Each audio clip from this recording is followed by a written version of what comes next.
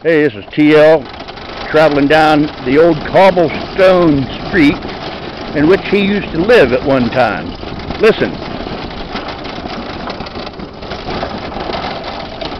Far out, huh? Later.